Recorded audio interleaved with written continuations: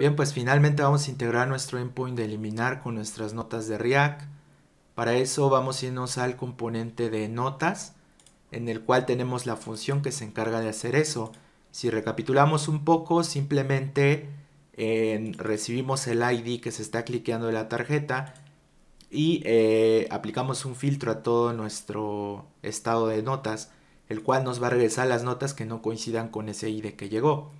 Por obvias razones, pues tendría que regresar todas las notas ya actualizadas, aquí que las guardamos en una variable y mutamos el estado abajo. Entonces, para evitar declarar esta variable que realmente es innecesaria porque no se va a utilizar en otro lugar, podríamos aplicar directamente la operación dentro de, la función que muta el estado. Entonces, ya nada más aquí hay que aplicar actions para conectarnos al API. Vamos a poner actions delete y vamos a utilizar la misma URL inclusive que estamos usando aquí para actualizar. Es, la, es lo mismo, nada más que esta viene por el verbo delete. Eh, aquí hay que poner la variable, que en este caso sería el id de la nota que está llegando. Y ya quedaría listo. Entonces ya nada más hay que poner un den payload. Vamos a abrir nuestra row function y vamos a poner aquí un catch ok. Por si llegara a ver algún error pues igual lo imprimimos. Vamos a poner aquí un alert error.respawn bien eh, aquí debemos de imprimir el error en este caso bueno la confirmación de que fue eliminado que es la misma que estábamos recibiendo aquí en Insomnia. En este caso debería de ser eh, payload .data.message de esta forma, ¿ok? Y esto pues igual lo podemos poner en un alert.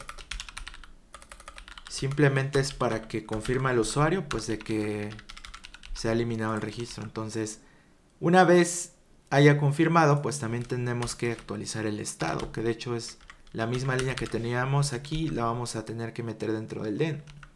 De esta manera, pues ya quedaría listo nuestro endpoint de eliminar. Vamos a ir de este lado y vamos a eliminar cualquier cosa. Por ejemplo, este registro, el registro 43 fue eliminado con éxito y se elimina de la interfaz también. ¿Ok? Entonces está funcionando esto correctamente. De hecho, si yo recargo, pues ves que ya no aparecen. Obviamente ya no se encuentran en base de datos. Y así es como quedaría nuestro endpoint. Ahora, una cosa que nos falta hacer aquí es mostrar algún mensaje si es que ya no existen las notas. Bien, para eso podemos hacer un renderizado condicional. Vamos a irnos al componente de notas y hasta abajo, que es donde iteramos todos nuestros registros, vamos a agregar un operador ternario. Vamos a poner nodes.len.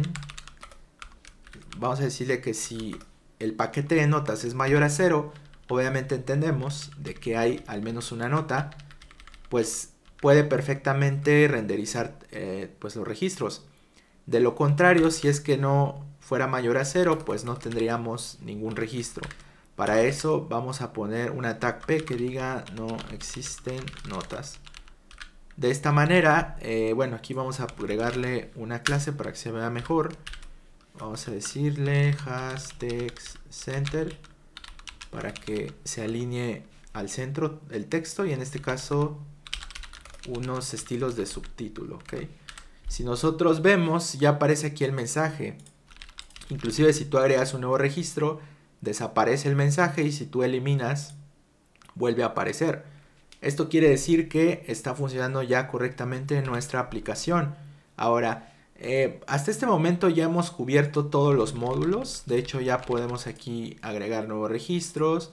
Si tú lo decides, también puedes modificar esos registros. Igual todo esto ya viene eh, validado. Muestra también los errores de campos requeridos. Y bueno, prácticamente esto es lo que te quería mostrar. Aquí también puedes cancelar, eliminar las notas y bueno, hacer lo que tú quieras con tu aplicación.